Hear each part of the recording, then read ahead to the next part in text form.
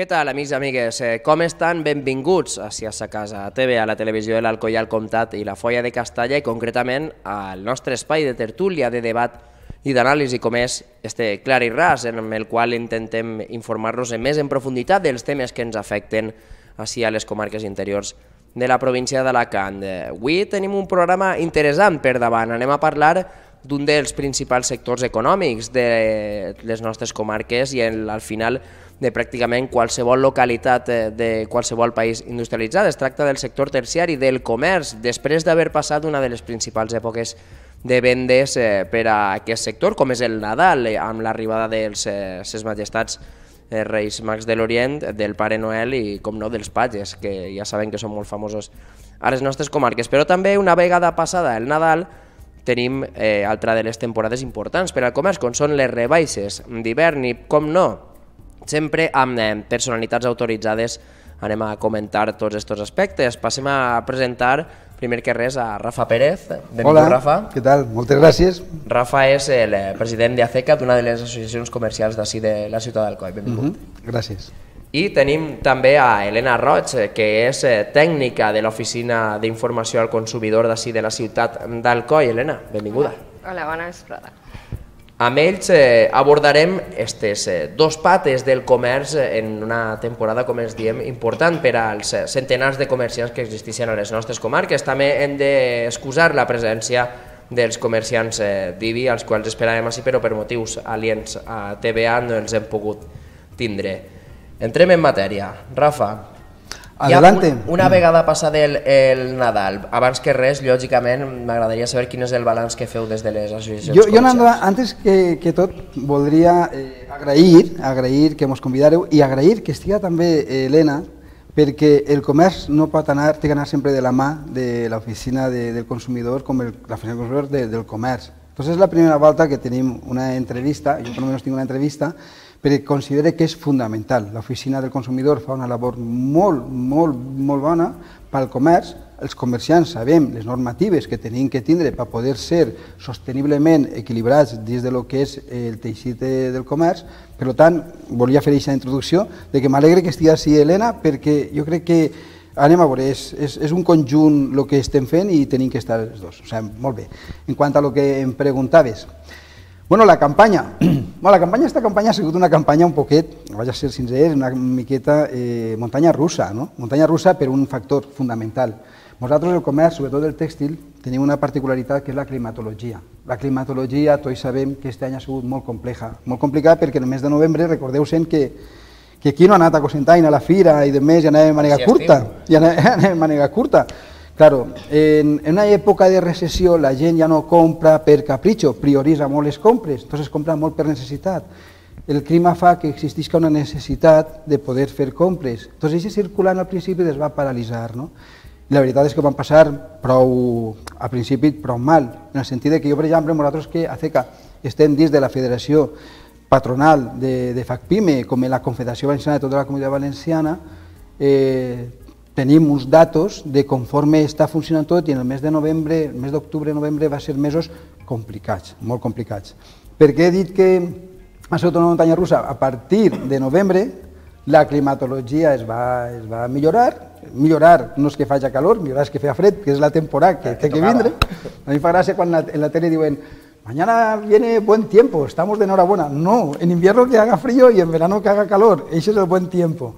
Entonces va a comenzar a, a lo que era ya el circulant de ventes que la gent ja començava a necessitar. Sí que és de veres que quan feia calor la gent entrava als escaparates, entrava als comerços per els escaparates, però no consumia. I després, claro, venen els, els Nadals, i en els Nadals sempre, Nando, n'hi ha una cosa graciosa, a més m'apeteix contar-la així eh, per tots els televidents. Eh, en el qual estic orgullós perquè els Reyes Magos ganen por goleada a Papà Noel, és de veres. La setmana antes de Papà Noel, és de veres, es va animar la venda, va, va ser una venda prou, prou atractiva, però la venda antes de Reixos, la setmana primera de l'any, fantàstic, fabulós. La gent d'Alcoi, però vaig a, vaig a dir, la gent d'Alcoi eh, va vindre a comprar, però hi ha una cosa molt important que sempre s'oblidem, que és la comarca. La comarca és molt, molt més gran que, que Alcoi, en quant a personal. Alcoi han viscut durant molt de temps a esquenes de la comarca, quan antes de tindre l'autovia, i això ens creava moltíssims problemes perquè hi havia difícil accessibilitat així al coll. La gent d'Ibi s'anava a Alacant, la gent d'Ontenien s'anava a València, la gent de Muro anava a València. Entonces, claro, el hecho de que, gràcies per fi que ha vingut l'autovia i que ja estem cara a la comarca, no s'ho podeu imaginar de veres la gent com està, poquet a poquet, tornant a lo que és el coll, a lo que és en si, a veure, jo sé que això més ofendrà algú, però la capital de la comarca comercial, en tots els respectes a tots els comerços, perquè nosaltres tenim molt bona relació en comerços de Muro, Cosentaina, Ibi, però ha tornat altra volta a recuperar aquesta part fundamental. No s'oblidem que al coll som menys que en la comarca i tenim un servici molt atractiu i molt bo. Entonces, la suma del clima, la suma de reixos i la suma de que cada volta anem pillant més cota de gent de la comarca, però que, que m'alegra, hasta gent d'Alacant, o sigui, gent d'Alacant que ve a comprar-nos el coll. Sé que molta gent està dient, bueno, Rafa és un il·lusionari. No, senyores, hi ha una raó molt bàsica.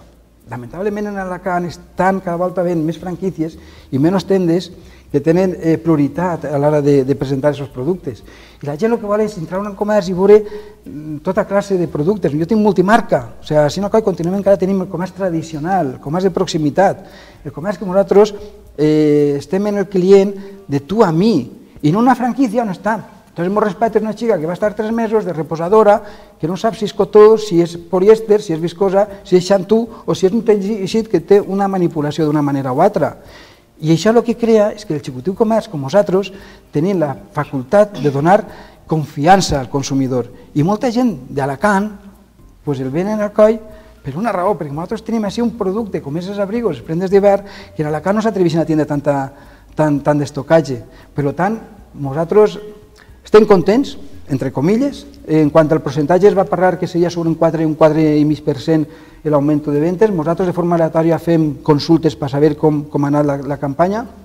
Puc dir que en el coll este any han superat aquest 4 i pico per cent, han, han augmentat fins un 5, jo diria que fins un 6% el que és la venda en la campanya, tot concentrat en 15 dies, és de veres, o sigui, la campanya ha sigut rara, però en 15 dies s'ha millorat, i la veritat és que el balanç és positiu, la gent del coll crec que cada volta entén que el comerç del coll està molt, molt fort, eh, que donem un servici molt atractiu i cada volta confia més en el comerç del coll i el més important, que la comarca cada volta ve més així.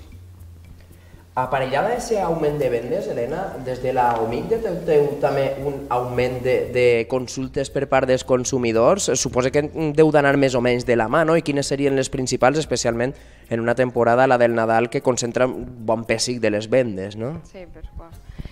Eh, sí, obviamente hay temas que son estacionales. O sea, las rebajas, pues eh, obviamente cuando hay periodo de rebajas, automáticamente después pues vienen las consultas, las reclamaciones, las dudas eh, y ciertos problemas que se suelen repetir o suelen ser constantes, mm, bastante habituales todos los años. En particular, pues se consulta mucho por el tema de los cambios de las devoluciones. Eh, ahí, pues sí que es verdad que hay mucha confusión hasta en los propios establecimientos por parte de los comerciantes. Y pues bueno, agradezco también la oportunidad de, poder explicar eh, esto, ¿no? porque es algo que se repite con mucha frecuencia. El tema de los cambios y devoluciones, llamadas políticas de desistimiento, pero al final son políticas comerciales de la empresa, hay mucha gente que cree que los establecimientos están obligados y no es cierto porque eh, es una política comercial, lo que se llama desistimiento, el derecho a poder desistir de un, contrato, de una compra. Pero claro, eso el establecimiento que lo hace o la empresa que lo hace pone unas condiciones, o sea, no es...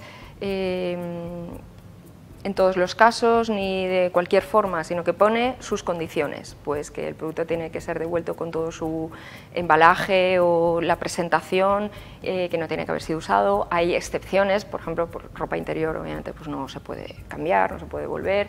En fin, pues tenemos un plazo de 15 días o tenemos un plazo de o se hacen vales o no se devuelve el dinero, pero hacemos un vale.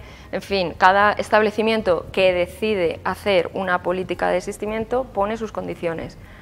La ley sí que exige que por lo menos, que tú lo puedes hacer como tú consideres, eh, siempre que no vulneres los derechos del consumidor, pero lo tienes que informar cómo y de qué manera lo vas a hacer. O sea, el consumidor tiene que tener acceso total a la información sobre esas condiciones. ¿vale? Tiene en su publicidad. Eh, yo sé, pues eh, otra cosa es la garantía, ¿vale? Todos los productos que compramos tienen una garantía. Una garantía de la ley dice que son dos años.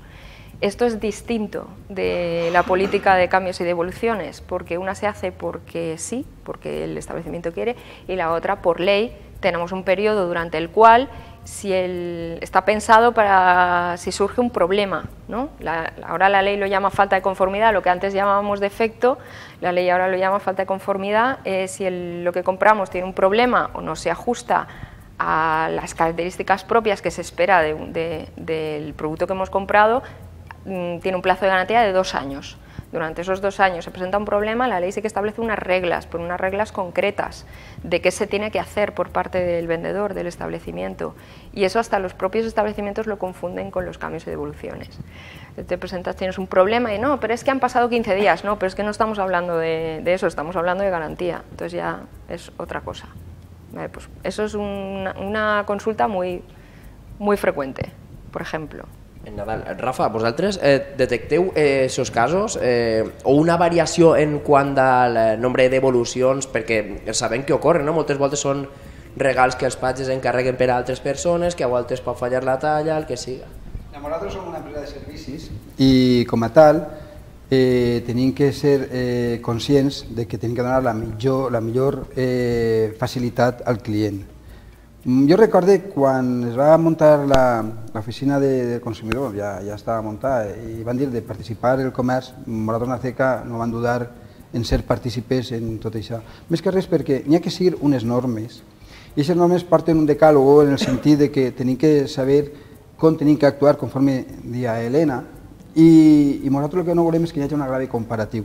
Entonces, evidentment, és de veres, el que comentava Helena en aquest cas, el tema de les devolucions i tot això, veure, nosaltres com a, com a empresa de servicis és lògic que tu, una persona ve a fer-te un regal i té un que potser no li ve bé la talla, pues, escolta, nosaltres estem allà pues, per, per donar facilitats i no, i no frenar i no tancar. I més nosaltres, més nosaltres que som comerç de proximitat, aquest comerç de proximitat coneixem els clients pràcticament, els coneixem perquè coneixem tots en el coll, els coneixem tots en la comarca i tenim que donar aquestes facilitats de que no hi hagi ningú problema. Tenim que evitar que existisquen problemes. Jo estic orgullós perquè jo estic des de l'arbitratge de consum per defendre el tema dels comerciants eh, si hi ha algun problema perquè hi hagi un, pues, un laudo i que, que existisca una norma perquè, perquè les coses vagin bé i tinc que dir que, que ha assistit poquiues voltes, o sigui, jo crec que més o menys pareix que la gent és conscient de quines són les normes que tenim que ser eh, eficaços perquè la gent tinga aquesta confiança en nosaltres. O sigui, sí, ocorreix, passa, passa, ando, passa i, i, i tens que saber actuar en cada moment, evidentment. Ahí, eh, Puedo, ah, eh... Clar, clar, clar, es una tertulia completamente oberta. De fet, yo incluso sí. ho agraïsc. Vale, eh, respecto de lo que está diciendo Rafa, que es así, eh, tengo que decir también que el tema del arbitraje de consumo, que nosotros lo entendemos como un, un, servicio más que da el comercio, porque es un sistema que al fin y al cabo es, es, voluntario. ¿no? Significa que cuando hay un problema entre un consumidor y un establecimiento, le das la posibilidad de, si no se soluciona mm, amistosamente, acudir a un arbitraje de consumo, es decir, decide un tercero. ¿Vale? Pero, ¿qué pasa? Rafa dice, he asistido poco, es cierto, porque antes de eso hay una labor previa, tanto de los comerciantes como por parte de, la UMIC, de, entendimiento. Es decir, hay una mediación, hay, hay, un diálogo, entonces nosotros, por ejemplo, somos partidarios siempre del diálogo. Hay mucha gente que cree que somos los malos, ¿no? Pues bueno, somos los malos eh, cuando hay que ser malo, pero no somos los malos por definición. Entonces nosotros siempre intentamos que haya un diálogo, que estamos para informar a los consumidores, pero a todo el mundo, da igual, nosotros asesoramos frecuentemente a comerciantes y a establecimientos porque no vamos a decirle, no, no, todos somos consumidores en algún momento y somos partidarios de que las cosas se solucionen por las buenas y no llevarlas a un punto en que a lo mejor de no retorno. ¿no? Entonces el arbitraje de consumo cuando llegas, cuando ya no hay ninguna forma de, a lo mejor de, entendimiento o no ha sido posible por la razón que sea, y entonces es cuando, cuando se lleva un arbitraje siempre que el comercio quiera, claro, porque es un sistema que se acepta voluntariamente. Es gratuito, es, para, es, para reclamaciones de consumo. ¿Vale? Y bueno, pues esa era la Sí, puntualización. jo volia preguntar-te precisament per aquesta in, eh, interrelació, per el funcionament d'aquests sistemes que al final el que fan és garantir la correcta prestació d'un servei Clar. per part del sector terciari per als eh, consumidors. En, en este cas, eh, en el de la mediació, ho heu dit, no? es busca sempre el diàleg eh, abans que, que l'enfrontament, però com es fa? Sempre. Com s'articula, diguem? Podeu contestar Bueno. Sí, bueno, cuando la, la sí, cuando la OMIG recibe una reclamación de un consumidor, bueno, la estudiamos, en fin, todo, pasa todos los filtros que tiene que pasar y nosotros nos ponemos en contacto con, con la empresa reclamada e intentamos siempre, pues, eh, pues eso, un diálogo y llegar a un, a un acuerdo que, si bien es cierto que si la- lo que pide el consumidor es razonable, es justo y es proporcionado, pues siempre se intenta conseguir eso, ¿vale? Porque si eso es, si eso es así es porque ha habido de alguna manera una vulneración de, un derecho. No siempre es así, ¿vale? Pero bueno, eh, nosotros sí que hacemos un estudio ahí y, y cuando nos ponemos en contacto con la empresa intentamos siempre un, un acuerdo que si es posible satisfaga a los dos, pero que si ha habido un- un- una infracción, pues obviamente intentamos que se corrija y que se, eh, digamos, mm, reponga la situación del, del consumidor. Cuando la mayoría de los casos tengo que decir que es verdad que tenemos un elevado porcentaje de mediación positiva, es decir, de solución, pero cuando no es así, siempre que el comercio, la empresa muestre voluntad de someterlo a un arbitraje, pues entonces es cuando se, se- lleva ese caso a arbitraje de consumo. Que tengo que decir que para mí, hombre, nosotros, consejo que le damos al consumidor, que igual que tiene que mirar no solo el precio, sino también todas las condiciones de lo que está contratando, eh, pues tiene que mirar también, es conveniente que mire si, ese, si es un pequeño comercio sobre todo, si está adherido a arbitraje de consumo o no, porque eso al fin y al cabo es una garantía adicional que va a tener, que sabes que si tienes un problema siempre vas a tener esa vía, que no te vas a tener que ir a un juzgado necesariamente, en, en última instancia, ¿no? Pero bueno, es un servicio más que se le está dando al Y consumidor. quiero comentar que el arbitraje de consumo no es que defienda exclusivamente y únicamente al consumidor. O sea, es totalmente Defiende imparcial. situaciones justas, Es imagino, Claro, ¿eh? es imparcial. De hecho, es un arbitraje en equidad. Es Totalmente, decir, que es justo, se busca la- justo, lo justo. claro. se busca- O sea, que hay veces comerciantes que te dicen, no, no, yo no quiero estar ahí porque van en contra, para todo más lejos, en absoluto. Ahí lo que, lo que ocurrís es que, quan arriba un momentet en què tu creus que raó, jo també, i, i tots pensem que tenim la raó, i si la raó pesara, el món s'iniciarà la seva òrbita, perquè tots pensem que tenim la nostra raó, té que haver algú que dictamine de dir, pues mira, no, això va ser bé, però pot ser el consumidor el que estigui equivocat, Mm. o pot ser el comerciant el que estigui equivocat. Si el comerciant està equivocat, ja té una forma d'aprendre que la pròxima volta no té que caure ahí. I també és una manera de protegir al consumidor, perquè això de que el cliente siempre tiene razón, pues a veure, depèn, depèn, o sea, si el cliente tiene razón, ben, o sea, a vegades n'hi ha que dir, pues mira, no, i entonces no és el comerciant el que el diu a tu, tu has fet mal ús d'esta prenda, sinó que en, en este arbitratge li diuen, usted ha hecho mal el- el ma- eh, la, manipulación de esta prenda. Entonces, eh, em passa que és una miqueta de defensa del comerciant. Això vol dir deixar-ho clar, que hi ha molta gent que diu pel carrer no, la fidel del consumidor van a favor de... No, van a favor de ningú. És del consumidor, però com dia Helena, el consumidor són tots al final. Tots són consumidors, exacte, sí, és així. No? Pues pareix que fem una petita pausa i tornem en uns minutets per abordar l'altre tema que ens eh, tenim ara damunt, que són ni més ni menys que la campanya de rebaixes eh, hivernals. De acuerdo. Tornem de seguida, no s'ho perden.